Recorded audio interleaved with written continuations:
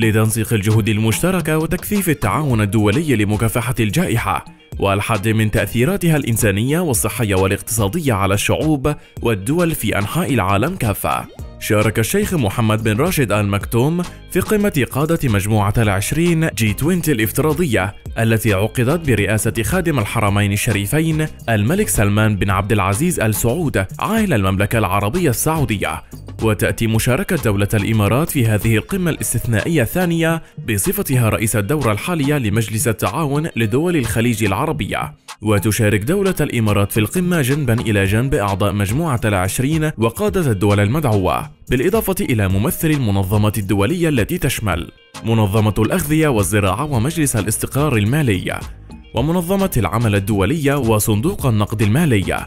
ومنظمة التعاون الاقتصادي والتنمية والأمم المتحدة ومجموعة البنك الدولي ومنظمة الصحة العالمية ومنظمة التجارة العالمية.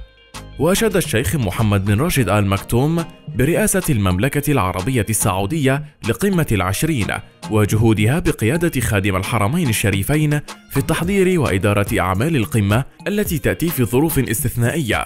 الأمر الذي يؤكد على الدور الريادي للمملكة عالميا وحرصها الدائم على التواجد ودعم الجهود الدولية للتصدي للتحديات التي تواجهها الدول والشعوب مشددا على مبادرة المملكة العربية السعودية بالدعوة لعقد هذه القمة الاستثنائية لمجموعة العشرين بهدف تنسيق الجهود الدولية وتكاملها لمواجهة فيروس كورونا المستجد كوفيد 19 وقال الشيخ محمد بن راشد أبرزت الجائحة التي يواجهها العالم اليوم الدور الذي تقوم به مجموعة العشرين كمنصة اقتصادية يتوحد حولها العالم لمواجهة التحديات المشتركة وتجاوزها.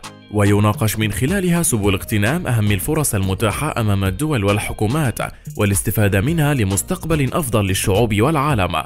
فالخطر اليوم يستهدف الجميع حول العالم دون استثناء والمصير أصبح واحد ومشتركا للإنسانية.